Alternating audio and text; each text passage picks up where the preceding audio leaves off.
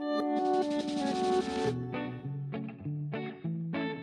everybody, it's Carrie from Tambella Arts and today we're going to be filling our letter E, which is E for Easy Does It. So we're going to use our quilling template from my book A to Z of Colourful Quilling and you would have already created your um, outline design from the first video as well. So let's get started. I'm basically just using four colours in this design and we'll start in the corner here. So we're going to make this large heart to begin with. And to make a heart, you're basically taking a strip, folding it in half,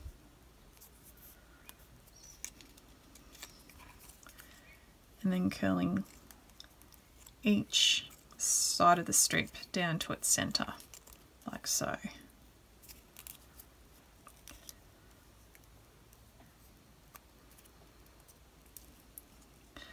We go. And then to make it larger, you're just rolling that strip back out on itself, like so.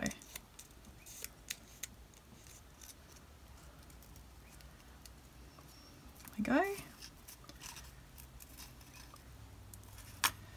There's our first initial shape. dip it in my glue and place into our design, like so.